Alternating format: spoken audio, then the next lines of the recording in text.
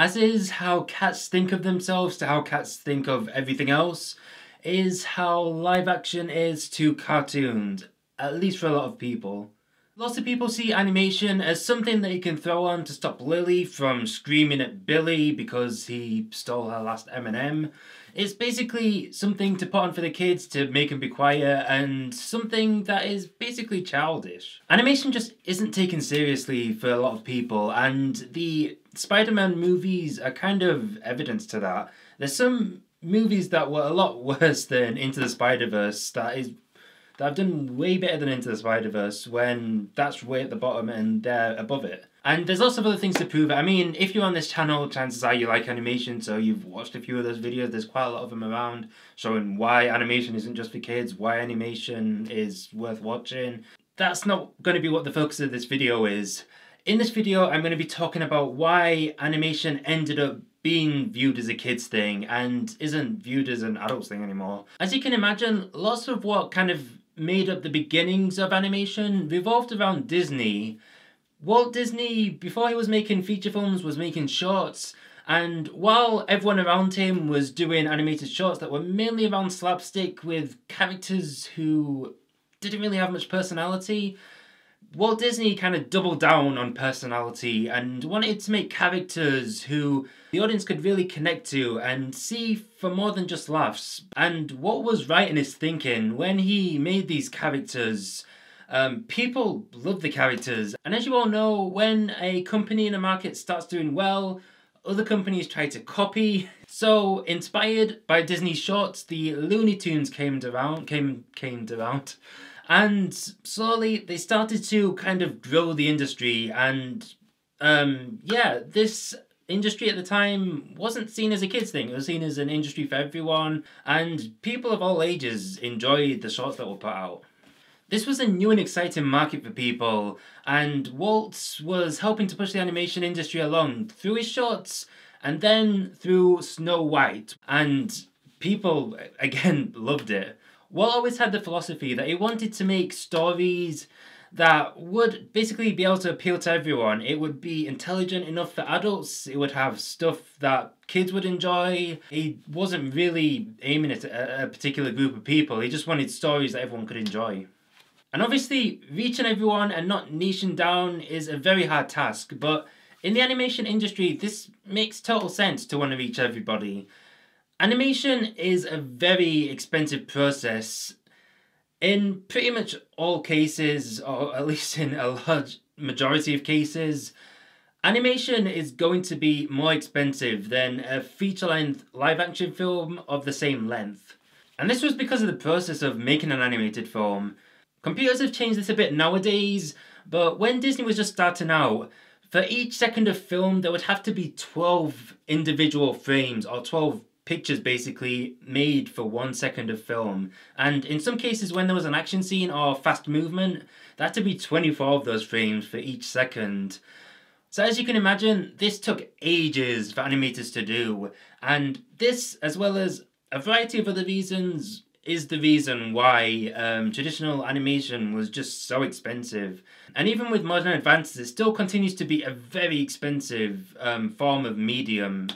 And just for an example, if you take Snow White, which was made in 1937, and compare it to some of the other films that were live action and were big in 1937, Snow White had a $1.5 million budget, whereas Dead End had a $300,000 budget, and A Star is Born, no, not that one, had a budget of $1.2 million.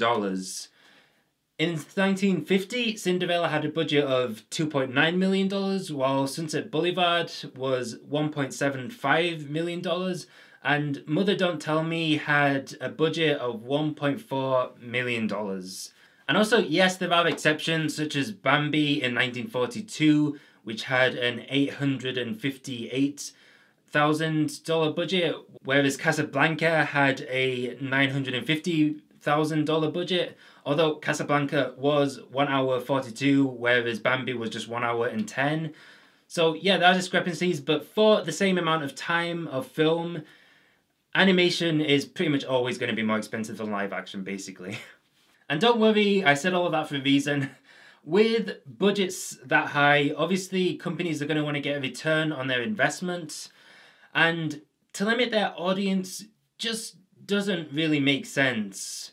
If you're going to be doing films that are above PG, you're going to have a harder time doing merchandising, you're going to be a bit more limited to adverts, and you're just not going to get as many people going in because obviously you're cutting off an entire part of your audience. You're cutting off anyone under 18, let's say. And I mean, luckily, Walt Disney loved fairy tales anyway, so he didn't really have to go that deep into thinking about it. So yeah, Snow White was a G film, and every film after that film, from then until now, has either been a G film or a PG film, and this extends across pretty much all of Western animation, at least for the major studios. And yeah, as you all probably know, Snow White was a huge success.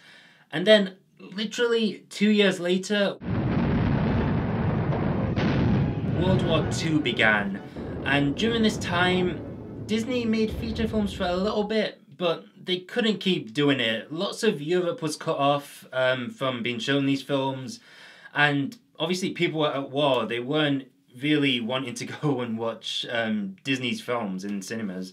Eventually, Walt Disney had to go back to making shorts and package films during their wartime era. And by, by the way, the package films are basically a series of short films strung together.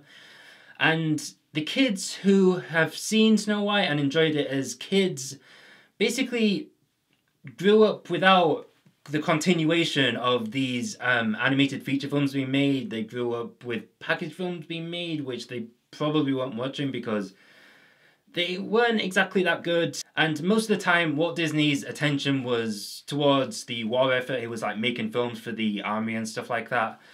So the kids basically had to go back to watching live action films, and they grew up with those live action films because obviously they couldn't go back and watch the older films because they didn't have TVs at the time, they didn't have phones at the time, they didn't have Netflix, they couldn't just open up an old film on Netflix, they don't have Plex or anything like that. So the only way they could see films was in cinemas, and the new films were starting to be shown in the cinemas, all these live action films that were still being made um, during the wartime era. The only time that they got to see Disney's animation in cinemas was when Disney re released them, which happened to be years after their original release date. So, even with that, they weren't seeing animation in cinemas that often. And this is basically where I think the cycle began. I feel like these kids grew up through World War II and after World War II without Walt Disney's animation. They only saw it when they were kids.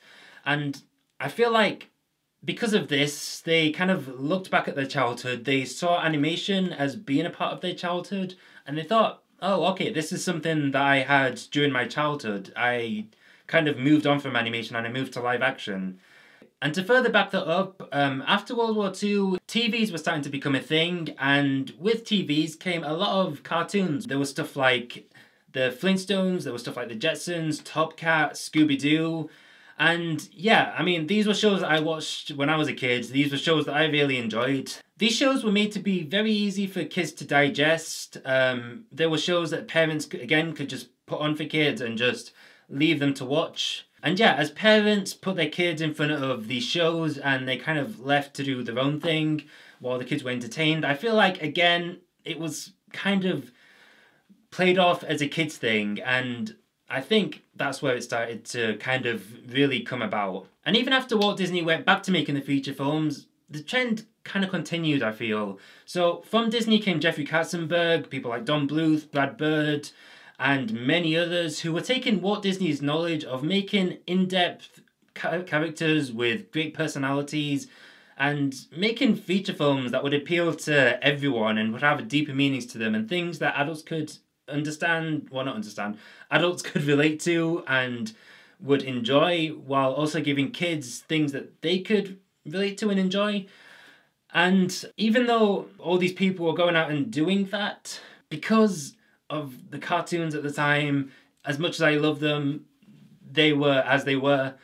And because of the whole break with the wartime era, I feel like adults from that point probably didn't start giving animation the chance that they should have been given it. And because all these films were G and PG, which were because they wanted to appeal to everyone, parents started to see these films not just being okay for kids, but being for kids.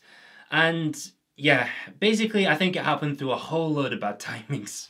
As for where the trend with animation is going to be going, I'm a bit mixed, and at some points I'm optimistic, and at some points I'm not. On one hand, there's films like Into the Spider Verse, which I know I talk about way too much, and companies like Laika Studios who are doing some great things with animation. And then on the other hand, there are companies like Illumination Studios who are, well, Illumination Studios, you know what type of films they do. and then there's Disney themselves who are making remakes of films left, right, and centre. And I mean, some ways, kind of insulting the original works by um, remaking films that just didn't really need to be remade. I mean, I say that, but I literally mean like one of the animators was literally offended by the Lion King remake being a thing. And I mean they're insulted for good reason, but then Disney also has their reasons for remaking these films because the Lion King film then went on to become the highest grossing animated film ever, even though Disney don't even want to admit that it's an animated film. And I I don't know, some parts of the animation industry make me happy, some parts don't. I mean, Disney, on the other end, their animation division is doing great. I personally really enjoyed Wreck It Ralph. Their revival era has really had some great films. There's going to be Frozen 2, which I'm pretty excited about. There's going to be this film called Raya and the Last Dragon, which Disney are going to be making. I think it's going to be coming out in 2020. Um, and that's a film, at least from the concept art, that looks like it's going to be a really interesting film. I'm really looking forward to that film. So I just don't know what ha- what will happen. But I guess if you can take anyway anything away from this video, it's the fact that you probably should give animation a chance. There's a whole lot of great animated films that have very deep meanings to them, and uh, I've got things that anyone of any age can really take away from them.